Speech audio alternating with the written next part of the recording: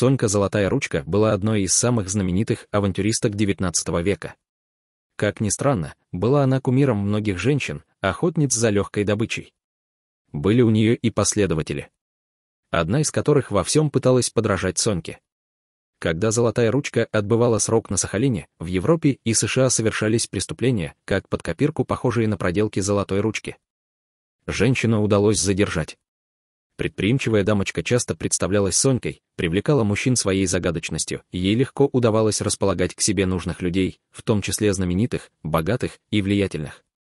Ольга Фонштейн, феерическая авантюристка. Урожденная Ольга Сигалович, дочь ювелира из Стрельны.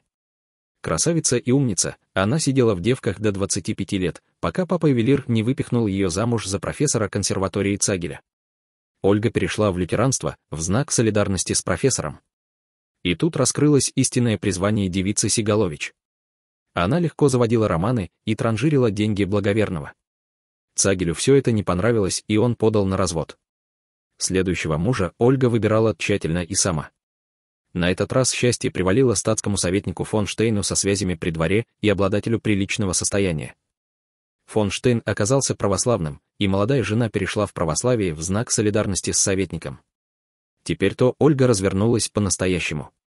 Намекая на связи мужа, она без зазрения совести брала взятки со всех желающих устроиться на высокие должности.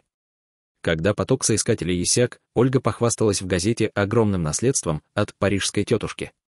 Принимая поздравления от светского общества, предприимчивая красотка фон Штейн набрала под тетины мульоны кучу займов. И, конечно, без расписок. Тут уже лопнуло огромное терпение советника, и Ольга вновь оказалась открытой для новой любви. Она продавала поддельные картины, слитки фальшивого золота, а однажды угнала автомобиль и сдала его в ломбард. В 1906 году она впервые попалась, но была отпущена на поруки. В 1908 получила реальный срок. И вот снова новая любовь, барон Остин Сакин. А в 1915 году баронесса опять в тюрьме. За поддельные векселя. После 1917-го обворожительно порхать красотки в обществе оказалось невозможно. Ольгу приговаривают к 11 годам колонии за обман советского чиновника. Ей было за 50, когда в нее влюбился начальник колонии Кротов. Ольга перешла в коммунизм в знак солидарности с начальником любовники сбежали в Москву, где успели собрать немало денег на несуществующий санаторий для пролетариата. Позже товарищ Кротов погиб при задержании, а Ольга, спасая себя, свалив всю вину на покойного, получила условно и переехала в Ленинград. Напоследок она еще раз сходила замуж. Чего одной то горевать? За инвалида-красноармейца. Они вместе торговали квашеной капустой на рынке.